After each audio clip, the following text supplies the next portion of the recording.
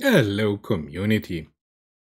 I just want to show you a short video that I discovered that yesterday uh, BioGPT was released on the Hugging Face platform as a free public version uh, done by Microsoft.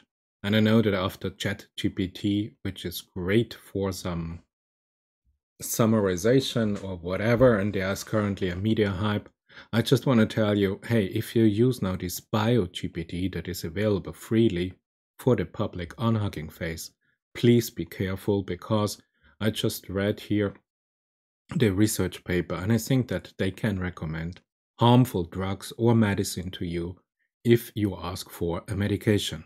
So this is just a video that show you please act responsible if you are ill go to a doctor. Do not believe that a GPT system currently at the state is able to prescribe any medication or drugs for you. Just a word of warning from my side. So just show you here Hugging Face, you know.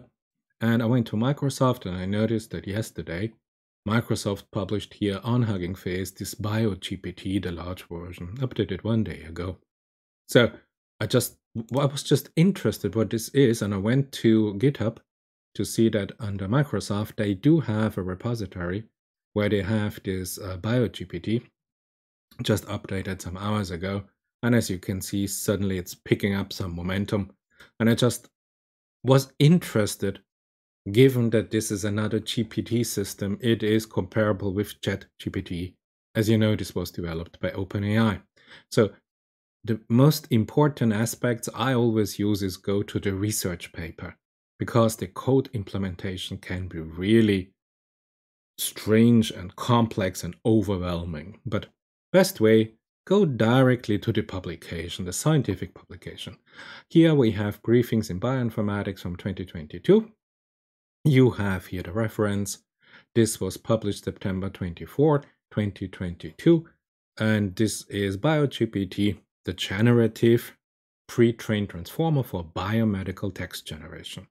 And as you can see here, quite some authors from Microsoft Research, AI for Science, Microsoft.com, Microsoft Research, Microsoft Research. So this is the scientific paper, as I call it, that I would like to reference for the moment. And you know, uh, when the authors of a research paper present themselves and present their findings, normally they give you the best results. And I just read this and after two hours, this part of the paper, and you have the reference here, please go and verify yourself. I found that they asked the question and they published this in their research paper, the drug that can treat COVID-19 is. And they have here the answer of the BioGPT system that they pre-trained and then fine-tuned. And they, they published that the answer is the drug that can treat COVID-19 is hydroxyl chloroquine.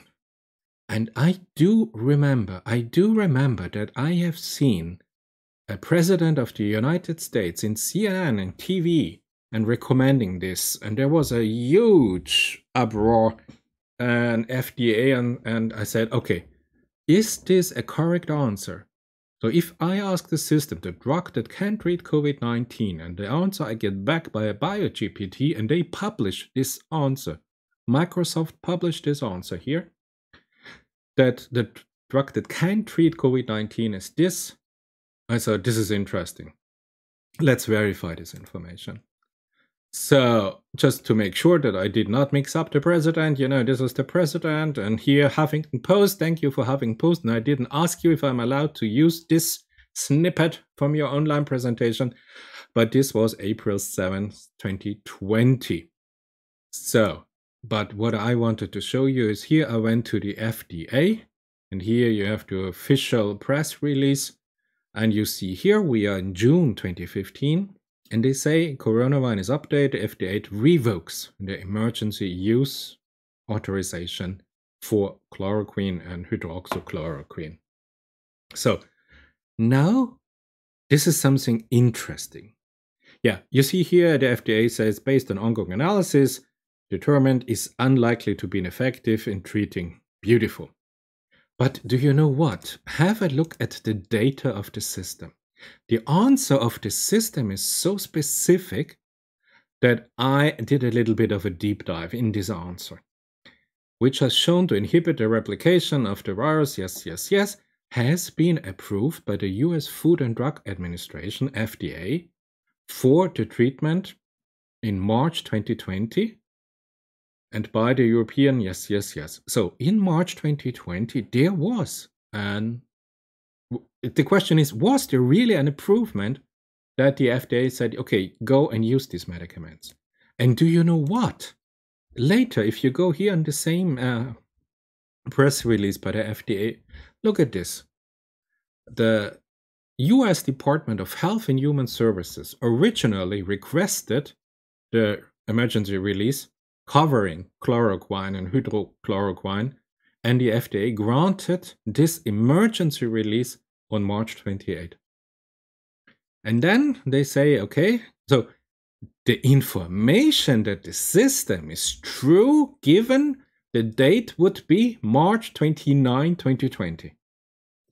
And they say, yeah, we have made clear, nah, and we will continue to examine. And then, as I showed you, the date here is important. In June 2015, this FDA publication here with the link, they say recent results from the large clinical trial showed that demonstrated that the hydrochloroquine showed no benefit on mortality or in speeding recovery. This was consistent with other data, including that the data showing yes, yes, yes, yes, unlikely to inhibit the virus that causes COVID 19. Currently available indicate a lack of benefit. So, this is interesting. So, there was a time where the US Department of Health and Human Services in 2020 asked the FDA to grant this, and it was granted. So, just want to show you. So, the answer of the system is for the time, if we would have somewhere mid 2020, before June 2020, the answer would be right.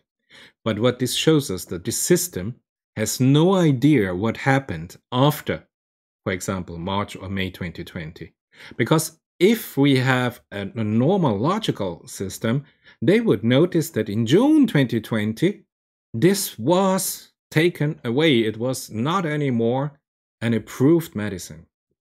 So you see, on the purely technical level, the answer is wrong because we are here in 2022, it was published.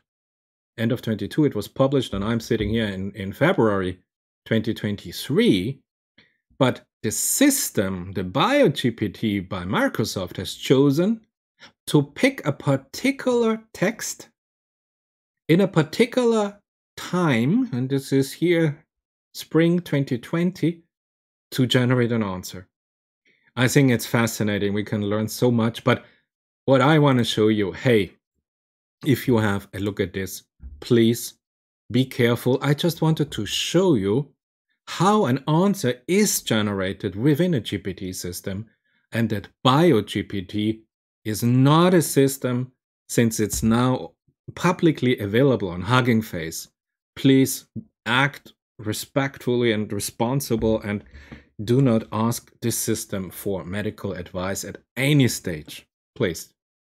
So, just wanted to show you, oops, yes, here. If you have a look at the study in detail, they make more or less technically everything right. They exactly analyze the BERT system and the GPT system.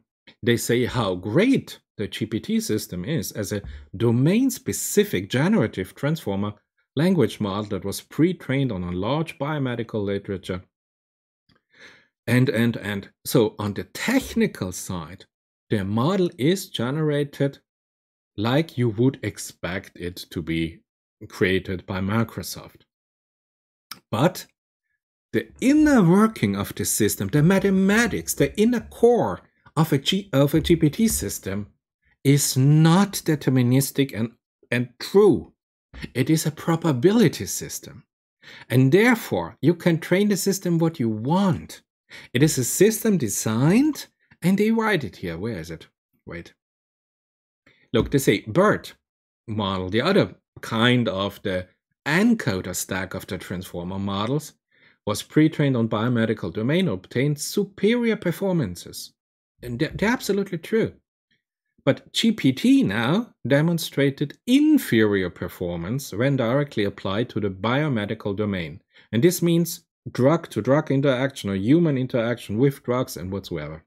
And so this is why Microsoft proposes BioGPT, and it was trained on 50 million PubMed abstracts from scratch, and they defined all the downstream tasks that you would expect it to be, yeah? So there's no logic mistake in the system, but it shows you the, a lack of understanding of the inner coherent working of the mathematics of this system, that it is a probability system. And why the heck would you apply this for for medicals? I I don't know. I mean, if you have this in Microsoft Word, if you write a novel, if you write an essay, if you write uh, a poem to the one you love or whatever, yes, okay. And if there are some words not perfect, uh, I mean, yes.